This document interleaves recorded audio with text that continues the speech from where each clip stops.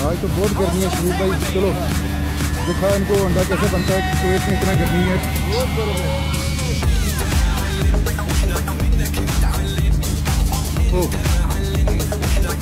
हमारे पास आज गैस खत्म था तो सोचा आज धूप में फ्राई पैन में अंडा बना लेते हैं हम लोग।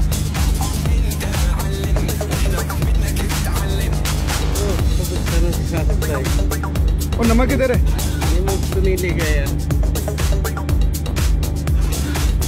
ये देखिए जी, ये सिर्फ़ पाँच मिनट धूप में फ्राई में रखने से इतना गर्म हो गया कि हमने धूप में ही अंडा बना लिया।